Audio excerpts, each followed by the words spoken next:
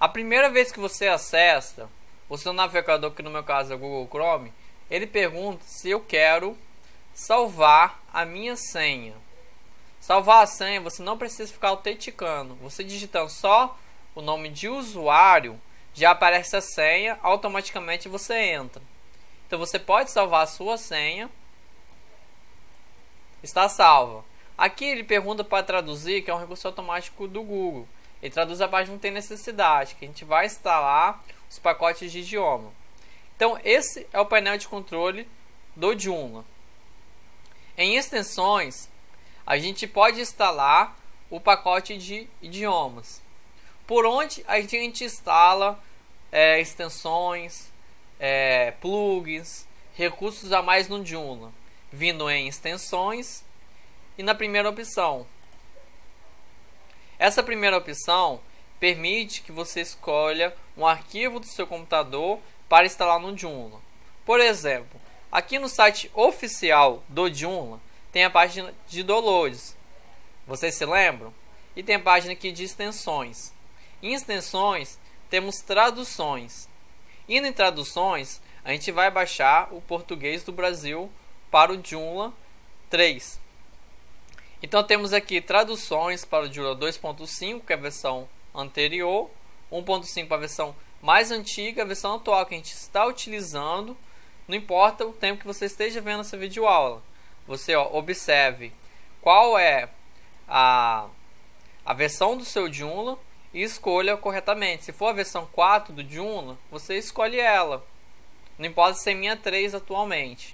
Então escolha aqui as traduções para a versão 3. E eu posso procurar. Tem aqui o português de Portugal, português do Brasil. Português do Brasil tradução. Clicando nesse link, a gente pode acessar e baixar o arquivo. Quanto maior número, por exemplo, 3.1 é uma versão anterior ao 3.2. Então, o mais recente seria o 3.2. Eu vou baixá-lo e é um arquivo bem pequeno, como pode observar. Foi baixado na minha pasta Downloads. Eu vou acessar a minha pasta. Esse arquivo eu vou jogar dentro da minha pasta como se eu na web, porque eu estou organizando tudo. Então, se eu quiser fazer outra instalação de Joomla, eu já sei onde está o instalador do Joomla, o pacote de idioma, o Gantry, todos os recursos que a gente vai usar. Então, eu envio aqui para dentro. E aqui dentro eu crio uma pasta. Traduções do Joomla. Ou traduzindo o Joomla. Então, aqui dentro eu vou clicar, arrastar e soltar as traduções. Isso é para quê? Para ter organizado. Então a gente vai estar organizando por pastas os instaladores gráficos, por exemplo. Nova pasta.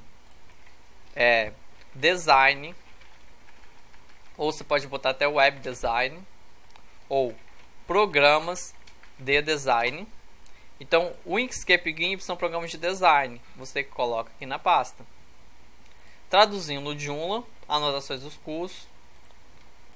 Você pode criar uma pasta aqui, é, programas é, para web. Aí você já pode colocar aqui o FileZilla, o NetBeans.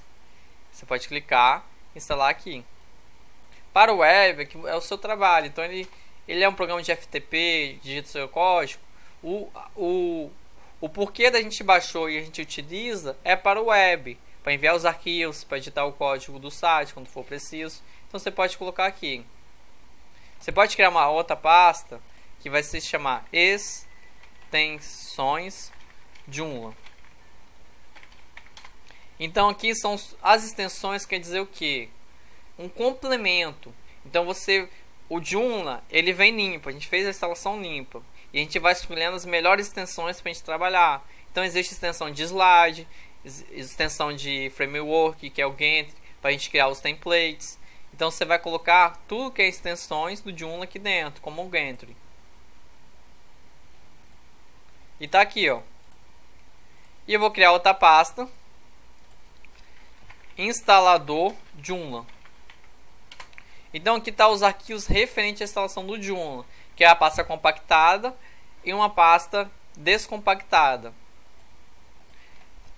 Tá vendo como está bem organizado e fácil de estar trabalhando? Então quando você for fazer uma nova instalação, já está tudo organizado.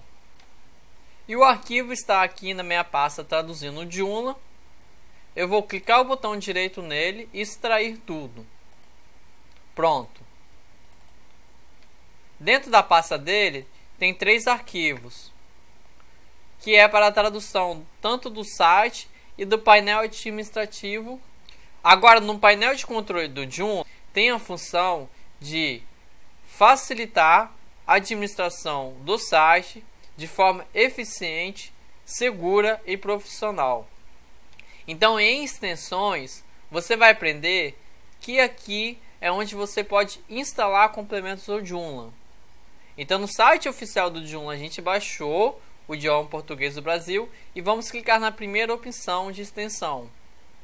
Aqui é onde podemos escolher o arquivo para ser instalado. Então eu vou escolher o arquivo que está no meu computador. Ele já está na pasta correta. Eu não vou clicar no arquivo compactado, no primeiro arquivo. Eu vou entrar na pasta e tem lá os três arquivos. Correto? Eu devo instalar os três arquivos compactados. Observem. Esse arquivo não. Se você enviar esse arquivo, ele vai dar, ele pode dar um erro. Ele descompactado, ele gera três arquivos. A gente vai instalar um por um. Então, esses três arquivos irá traduzir todo o Joomla. O primeiro arquivo, vou clicar em abrir, upload e instalar. Percebam que pouco instantes ele está gerando um arquivo, enviando para sua hospedagem e traduzindo. Na sua instalação de Joomla, sendo no seu diretório principal ou em uma subpasta, como é o meu caso, ele pode gerar arquivos como o arquivo de configuration da instalação que você vai tentar alterar as permissões dele e você não consegue. Eu observei isso que esse arquivo está com a permissão 044 e se eu clicar em permissões do arquivo e alterar, por exemplo, para 644 e apertar OK, percebam que não acontece nada. Então esse arquivo não tem como alterar as permissões dele. E como a gente resolve isso?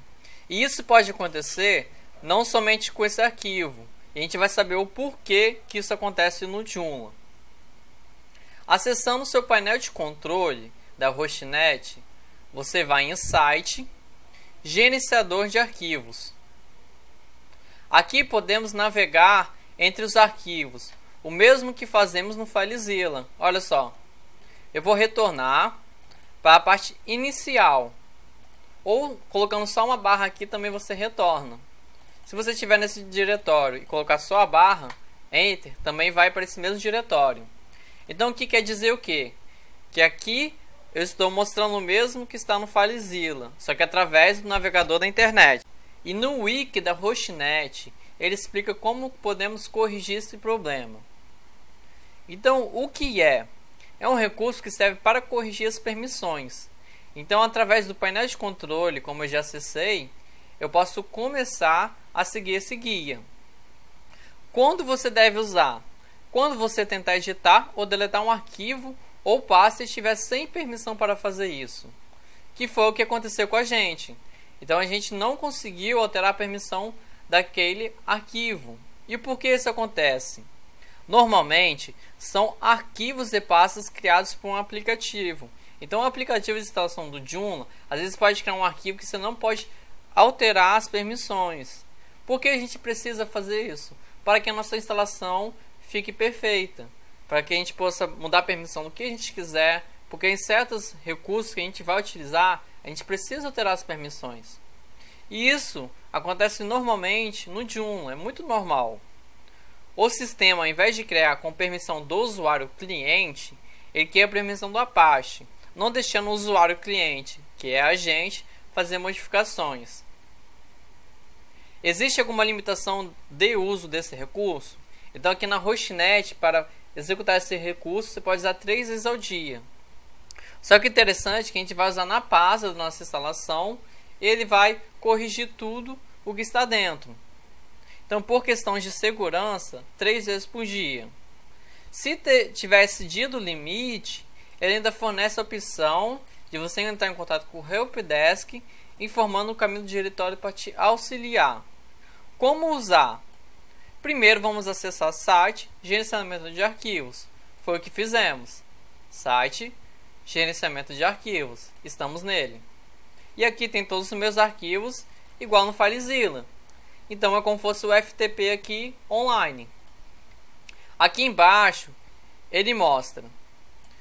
Logo no arquivo que você quer, ele utiliza o arquivo Joomla como exemplo, tem questão de propriedades com esse símbolo. Então posso olhar aqui qual arquivo que eu quero mexer. Não é aqui. Eu tenho que estar na pasta www e escolher a minha pasta.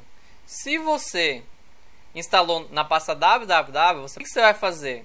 Ah, está no diretório principal na pasta www. O que, que eu faço? É ela. Você vem aqui. Se você dentro da pasta www tá outra pasta que tem o seu Joomla, que é o meu caso, eu vou selecionar ela. Então não a pasta, eu vou selecionar as propriedades referente a ela, ok? E tá aqui. Seguindo o tutorial, ele pede para você clicar em resetar usuários e grupos desse diretório. Ao resetar o usuário e grupo do diretório Joomla, ficarão com o padrão do servidor. Esta operação pode demorar até 30 minutos e pode ser executada três vezes por dia. Pronto, dentro de 30 minutos, o owner desse diretório estará corrigido. Então eu entro no painel de controle e agora eu posso resetar usuário e grupo desse diretório. Com um clique, ele executa a ação. Quer dizer aqui que foi resetado o reset de permissão solicitado com sucesso. Então é só aguardar que podemos alterar as permissões de quaisquer arquivo que a gente queira. Isso é para que a instalação fique ainda melhor. Agora podemos acessar novamente o FileZilla. Aqui tem um pequeno ícone que podemos desconectar do servidor e do lado dele voltar a conectar ao último servidor usado. Então eu desconectei e reconectei. Também tem um atalho aqui que ele atualiza as listas de arquivos e pastas. Então feita a atualização, percebemos que o arquivo configuration, que aqui em proprietário tinha uma configuração de grupo diferente, agora a gente pode fazer qualquer alteração em qualquer parte do Joomla. Então, antes que a gente não podia alterar as permissões desse arquivo, eu posso clicar o botão direito, permissões do arquivo, e agora eu vou botar 644, igual estava nos outros arquivos, e vou clicar em OK.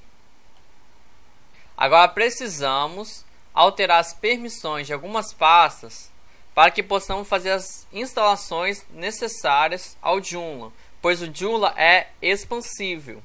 Para que a gente possa editar o template, instalar slide e complementos e até o pacote de idiomas para colocar o painel de controle e o site em português, nós precisamos alterar as permissões, pois ainda não está configurado pois a permissão padrão que vem é 755.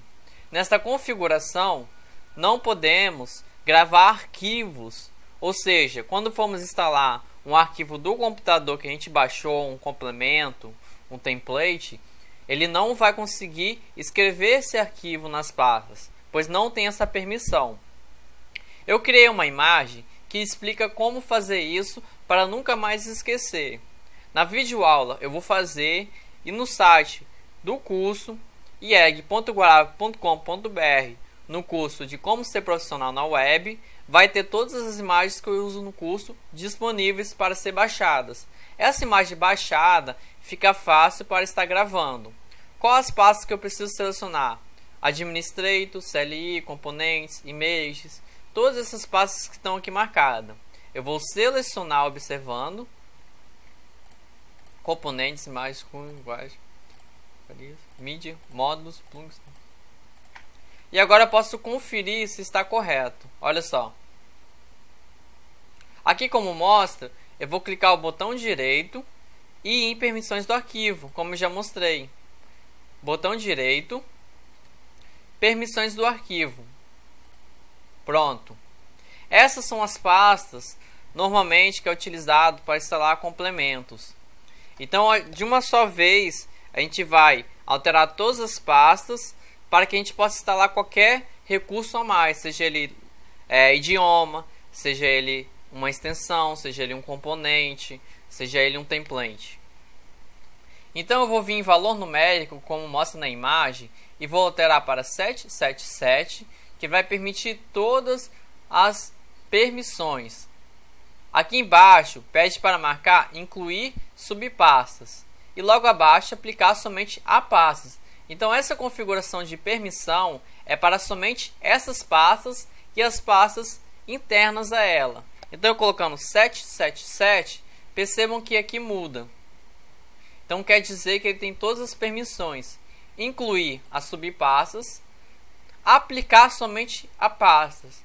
Se você deixar marcado aplicar a todos os arquivos e pasta, não é interessante estar fazendo isso, pois deixará falhas de segurança no seu servidor de hospedagem. Então, vamos marcar esta opção e apertar OK. Em alguns minutos, poucos minutos, dependendo da sua conexão, ele vai alterar somente as pastas, mudando as permissões referente a ela. Isso é para quando a gente for fazer instalações no Joomla. Depois que a gente terminar de instalar tudo que a gente quer, a gente vai retornar as permissões para 755. Pois se deixarmos 777 constantemente, vai deixar falhas de segurança, pois as permissões ficam muito livres. Então essas permissões são somente para instalarmos. Depois que terminarmos de instalar, a gente muda as permissões do mesmo jeito. Então essa imagem serve para quê? Toda vez que você for instalar um complemento, um recurso a mais no Joomla, você deve fazer essa alteração de permissão. Você está falando para o que na hospedagem? Olha, Agora eu permito instalar todos os complementos que eu quiser. Está permitido. Ah, terminei? Beleza. Vou retornar a permissão 755, como mostra aqui, a permissão anterior. Então o processo para botar a permissão 777 é o mesmo. Depois você vai selecionar tudo de novo, vai estar 777. Vou em permissões do arquivo e retorno ao valor antigo, que é 755. Então é para instalar complementos, 777. Pois se tiver no 755, ele não vai conseguir gerar os arquivos e vai dar erro. Então por isso que é necessário atribuir essa permissão. Observe que as permissões foram efetuadas com sucesso. Então com essa imagem no seu computador, você nunca mais vai esquecer quais espaços que você precisa alterar as permissões. Ah, eu cancelei a seleção. Não lembro qual é mais a pasta. Por isso que você deve ter essa imagem salva lá na sua pasta. Então tenho aqui minha pasta, como ser profissional na web, e tem umas duas imagens que já utilizamos no curso. Agora eu já posso entrar no meu painel de controle. Já está aqui aberto. Agora no meu painel de controle, eu vou aprender que para instalar uma extensão, ou seja, um recurso a mais no Joomla, seja um pacote de idioma, um template, um plug, um recurso que melhore ele, que adicione novas funcionalidades, pois ele vem com os recursos básicos, eu preciso ir em extensões e na primeira opção. Na primeira opção, eu vou escolher os arquivos referente ao meu pacote de idiomas que eu baixei, português do Brasil. Eu preciso escolher o arquivo no meu computador. Eu já tenho ele aqui descompactado e dentro dele tem a tradução para o painel de controle, a tradução para o editor que eu utilizo no site para estar editando e a tradução para o site. Então eu devo instalar esses três arquivos zipados, um por um. primeiro o painel de controle. Abrir, upload e install.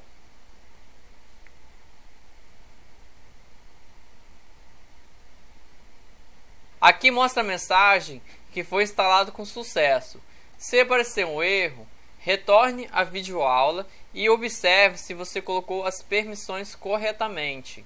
Lembre que isso aqui é só atenção, não é difícil. É só marcar corretamente as pastas para que ele possa gerar os arquivos. Agora vamos escolher o segundo arquivo de tradução, upload e instalar. Aqui mostra a mensagem que foi instalado com sucesso. Agora vou escolher o arquivo e vou escolher a tradução para o site. Upload e instalar. A instalação foi feita com sucesso. Arquivos em português do Brasil para a versão do CMS 1 3.0. Então vocês aprenderam agora que no topo, no menu, em extensões, aqui a gente pode instalar. Para o painel de controle ficar mais fácil, a gente conseguir entender ele melhor, a gente vai colocar ele em português. Essa é a primeira etapa para a gente começar a trabalhar. Então, em extensões, tem a opção de módulo, plug, template e idiomas. Então, aqui gente vai, a gente vai editar qual a língua, qual idioma que a gente vai estar utilizando. E podemos instalar até mais idiomas. Aqui no Dino, como a gente baixou o idioma português do Brasil, se quisermos baixar espanhol, japonês, outros idiomas, a gente pode baixar e instalar.